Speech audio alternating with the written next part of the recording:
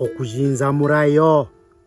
ネットショッピングでスーパーサプリメントを使用して筋肉を作ってるんじゃねえよ。黒人侍よ。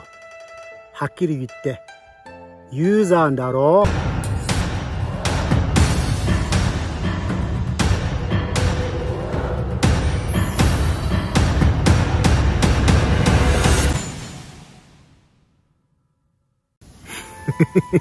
笑っちゃったよね、皆さん。こんな動画どう思います？こんなイントロどういうこと？はい。えー、ぶっちゃけ話します。実は今日仕事帰り YouTube 開いたら、俺の写真のがサムネになってる動画があって、で、そのタイトルが、黒人侍とハガセブン。えー、ストリートユーザーだろうか、そうでもないんだろうかというタイトル。要は、natty or not。ナッティとかナチュラルね。ナッティ or not。気になって開いてみたら、あのー、高木筋トレ学校っていうチャンネル。で、この高木さんってね、コロナ前ぐらいの知ってる人なんだよ。インスタでつなげて、あの、スポルテックでも、えー、会ったことがある。なんかすごい、もうキャラが大好きなタイプ。ちょっとラップとかが好きでね、ちょっとそのアメリカの黒人のカルチャーとか好きそうな、なんか曲も作ってて、で、いつの間に YouTuber になってました。で、YouTuber の、えー、内容は、あの、まあ、最近かわからんですけど、えー、疑えそうな筋トレ系 YouTuber のステロイド検査をする。まあ、要は、えー、4年みたいなことをしてるわけでしょ。やばいやばい、面白い面白い。で、開いてみたら、ぶっちゃけ言って、もう、だろうになってるんだ、俺。で、その、まあ、彼が、えエビデンスとして使ってるのは、えー、ある動画、俺とファールク、IFBP プロのファールク。しかも当時ファールクはもう全然ナチュラル。その時は。当時はファールクは、もうファールクは友達だから、当時はファールクはもう、もう完璧ナチュラルです。えー、俺とファールクが腕照れしてる動画の、えー、アングル、ある、ある、あるアングルにフリーズされた写真。要は動画を覚えてて、ポーズして、その、みんなやるでしょ動画の中のスクショ。なんか一番漏れてるアングルとかスクショして写真として使えるよね。だからそこに固まった俺の肩が一番漏れてる。ライティニングのあたりがめちゃくちゃいい。なんかバルクがめっちゃ見える。フリーズされた一枚の写真ずっとそれをエビデンス。どこ行ってもその写真に戻る。ああ、でもここやっぱりこの写真見るとね、これ使ってますよね、みたいな。面白くて笑っちゃった。まあ今回はね、あの、俺が、いやー、何年の時に何キロだった、筋トレをしてなかった、何年までは、こう、こういう話しても無駄。つまんないから。うん。ショコけたのは高木さん、まあ、ショックでもないんだけど、俺のこと知ってるから、もう読んで、あの人ちょっと日本人と違って、ちょっと外国人のね、な、なんかノリあるから、なんか日本人がやらないようなネタをできててもいいと思うよ。だから俺を読んで、もうなんか face to face みたいな、やってますか？とか、だったらもうよかった。その感じだったらもっと動画伸びただと思うよ。俺はもう全然、あの、喜んで、あの、行って話しますよ。だからね、もうちょっとね、あの、それちょっと、うーん、高木さんは別に俺を読んで話せばよかったなと思ったんだよね。だから今回は、ストリートを俺が使ってないとか、使ったことないとかっていうのもつまらない。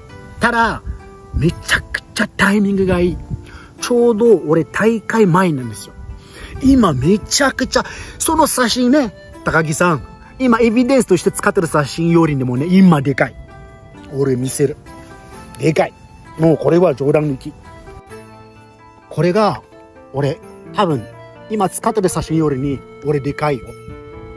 でかいし、絞れてるし、マジ、あのー、今いい。今いい。で、高木さんに、いい話持ってきた。ね。で、昔から俺が言ってる。俺のステロイド検査しに行きましょう。これも一番いいんだよ。病院で。お前が払うからね。うん。誰でもいいから、今の時期ちょうど大会前。で、もっともっとでかくなる。なぜならば、今ちゃんと筋トレして、ちゃんと食べてるから。俺ちゃんと筋トレしてって、ちゃんと食べてたら、もうそのところじゃない。そんなところじゃない。うん。俺はあんまり筋トレしないんだよ。もう公園で自重ばっかりしてる。で、あんまり食べない。ちゃんと食べてて、ちゃんと筋トレしてたら、もう多分もうこの話ないんです。だから今チャンス。いいネタ。もう俺が無料でしてあげる。あなたのチャンネル載せよう。ね。俺のステロイド検査しに行こう。うん。抜けたわけじゃない。絶対今の方が体重もそこそこがあって、もうバルクもめちゃくちゃいい。バルクもめちゃくちゃいい。だから、あの、俺は昔から言ってました。しに行こう。ステロイド検査。俺は、あの、ブツブツブツブツ言うタイプじゃない。うん、スーパーサプリメント初めて聞いたもん。そういうのあると知らない。そもそもスーパーサプリメント、ステロイド興味ないんだよね、俺。全く。俺ね、もう人生ずっとバル変わる人。もう空手時代。で、彼が使ってた一番最初俺の YouTube 載せてるキッキック、空手キックの動画。あの時83、4キロぐらい。今現在マックス88ぐらいで。ちょっと太って90ぐらいんだよ。で、空手だけだから丸みがないんだよ。ウェイトやってないから。だけど、ウェイトやると丸みが出る。だからあの、ファウルックとのトレーニング、もう筋トレ、もりもり筋トレ中だし、今も筋トレ終わったから冷めた。例えば今筋トレ中の動画写真、これ。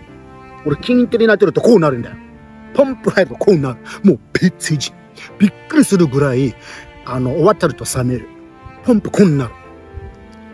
でも、これでもね、長くなるから、必要ないんだよ。必要がありません。ね。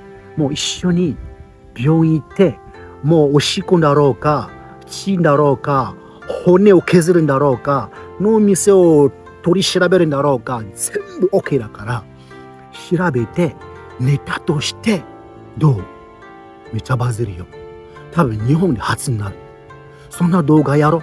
高木さんお金払うから。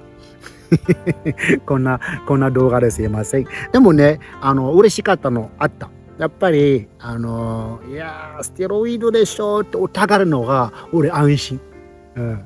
お互いなくなったらね、寂しいです。やっぱり40歳だから、うん、40歳でこの体ってやっぱりみんなちょっとこう嫌味あるんだよね。なかなかない。だけど皆さんいろんな40歳ある。うん。あなたが40歳そこそこ金もあって、えー、社会もあって、仕事もあって、付き合いもあって、家族もあって、この体をキープするってなかなかむずい。だから、40歳の同じ40代、俺47かばだよ。44だよ。だけど、勘違ってほしくないのは、俺別のタイプの44だよ。44年間中に40年間近くずっと体鍛えてきたから。それだけ勘違うと困る。ねえ、田中さんね。うん。いろんな44歳いるから。うん。44年間中に40年間鍛えてきた人は同じ体並みになっても困るんだよ。それだけちょっと安心しましょう。はい。まあ、俺は、あの、いつでも、どこでも、えー、ステロイド検査しに行きたいので、えー、誰か呼んでください。これからもよろしくお願いします。Hard work! Hard work! おっす。